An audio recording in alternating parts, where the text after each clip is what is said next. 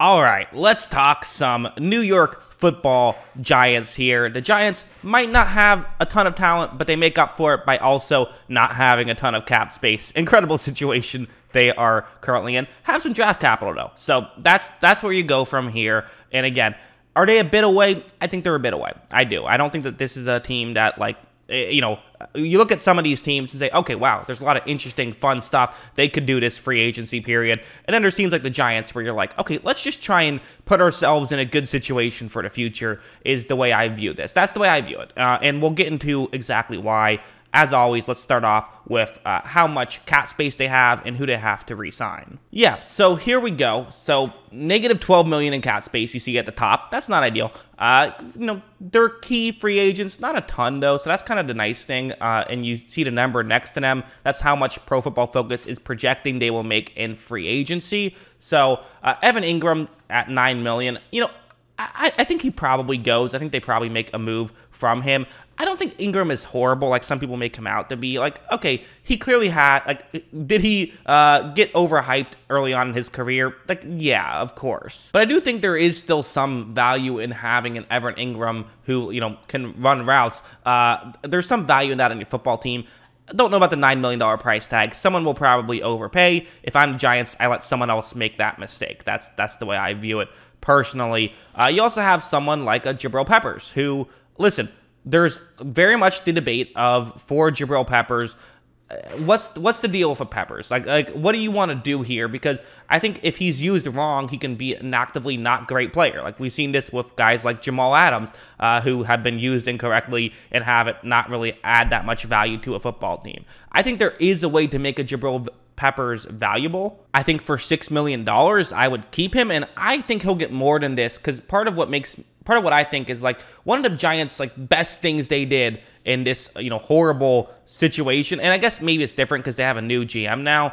But uh, you know, Dave Gettleman, one of the best things he did was the Odell Beckham trade. That's kind of like that's his you know shining thing. That's you know, he'll put the paper of the newspaper of that on his wall because he nailed that one, and Jabril Peppers was a key part of that. So uh, getting Jabril Peppers, I think maybe they'll just keep him just for that alone. Although again, new regime probably uh, don't care about that as much. I would think. Nate Solder here, um, not exactly worth. Uh, you know, I think I don't know if you just like throw him away. Quite frankly, like five million, that's not a bad contract. We got to see Andrew Thomas play really well, which like that was cool. Like I, really liked Andrew Thomas coming out of college, and he was so bad his rookie year. Although in fairness, to pat myself on the back a little bit, I did kind of say like I still liked some stuff about Andrew Thomas, but part of that might have been just confirming my priors uh, in his rookie season. But you know, you got the left tackle down, so maybe just let Solder walk because that contract did not work out. You also have edge rusher Lorenzo Carter, who can fine player, four million dollars. Uh, you can keep him, you can leave him. It's not the end of the world either way. So they wanted to re-sign everybody. They would need 24 million,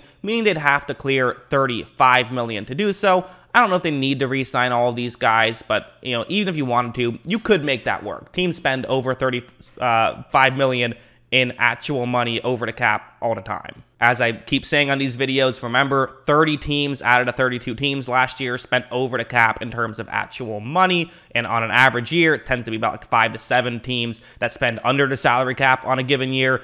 Uh, so, like, yeah, spend over the cap, that's fine. That's what most teams do. As for players they could cut, uh, you have Blake Martinez, who a lot of Packers fans said, hey, uh, go ahead, have Blake Martinez. And then he actually played really well for the Giants uh, last year. Didn't get on the field much this year uh, due to injury, but uh, you know that's someone who you could get rid of if you wanted to to save nine million. But again, you're losing a quality player if you go out and do that. I also have a couple of receiving options, one being a tight end, one being a wide receiver. First, a receiver, Sterling Shepard. You spent went out and you spent all these resources on wide receivers in the offseason with Kenny Golladay and Kadarius Toney, who you drafted. Toney struggled to stay on the field. Kenny Golladay struggled to stay on the field. Uh, you know, Sterling Shepard struggled to stay on the field. So obviously, you know, hopefully you just stay healthy. But maybe you say, you know, we have the depth here. Uh, we have Darius Slayton still on the roster. We, you know, we're okay there. We can we can find that in other ways, which I think would make some sense. Uh, you have like a, a Kyle Rudolph, who again he's fine if you let him and Evan Engram walk. You have to get a tight end now, so maybe you just keep Rudolph as the cheaper option, or maybe you sign Engram and then cut Rudolph. Although I think Rudolph's probably the better player, so I probably just you know keep Rudolph with the cheaper option. And then of course, uh, as I always say, if a special teamer is making more than two million, they're going to end up on this list of guys you could potentially cut. You're giving Riley Dixon three million for to be, uh, you know, not not even the best of punters. So he's a guy who you could potentially move off of as well if you wanted to. Charts like these are really important to look at where we are at with the Giants, and you look at them. Um, they got some improvements they need to make. So what we're looking at is going to be where they ranked in each positional category according to PFF. I know not everyone loves PFF, but I think they tend to be pretty accurate. Uh, and this is where they're at. Is they don't, don't love a ton of what we saw from the Giants. Now the passing game at 31 there is a bit of an asterisk there, which is it was just so bad once Daniel Jones got hurt. I mean, Jake Fromm and Mike Glennon were atrocious, and part of that was they had no one to throw to, but Daniel Jones was actually 21st ranked. So it's better than 31st, but still not like great. But if Daniel Jones can be a solid starter, which I think he has that capability to be, like there's at least something there, and you're apparently giving him another year, which, given the draft class, I don't actually hate that decision, even though it's getting made fun of a lot. Uh, but you just got to improve the other stuff. You know, the offensive line you have to improve, obviously. You got that left tackle, maybe get a right tackle, and then just kind of, you know, fill in the middle with decent players. That's kind of a strategy teams like to do a lot. Although, really, I think guard's kind of their biggest position of weakness there, I would say. Uh, you also have for you know uh, you also have their weaknesses of receiving corps, which again part of that might just be being healthy. They could have that happen. Like same thing with the running game. Okay, maybe just having Saquon Barkley like you know stay healthy if that'll ever happen. This is kind of the issue with spending a number two overall pick on a running back, but I'm not the first or last to talk about that as a decision. Uh, a better better off than having Sam Darnold, I suppose. So could you know it's not that bad, but still. Uh, running defense definitely could use some work. Pass rush could definitely use some work. Coverage was fine, and you know, again, you improve the front, then maybe the, it allows the coverage to be better. So it all works together. But and it, although PFF doesn't really take that into consideration, but maybe in small ways it could affect it a little. They could definitely use a like you know true like number one pass rusher type uh, on the edge because their interior is pretty good.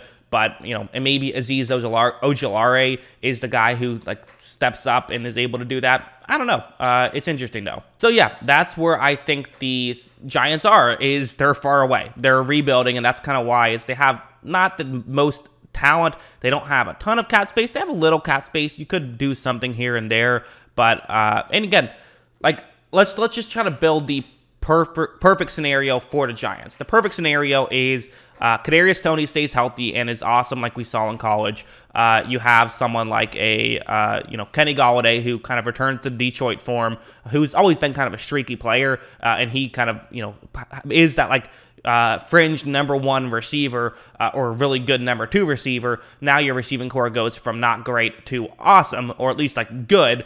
And then Daniel Jones is that consistent, like solid quarterback. You improve the offensive line to make that consistent. And now you have a good offense that could potentially propel you to a, like, you know, maybe even if you get lucky, a fringe playoff team. That's the dream scenario.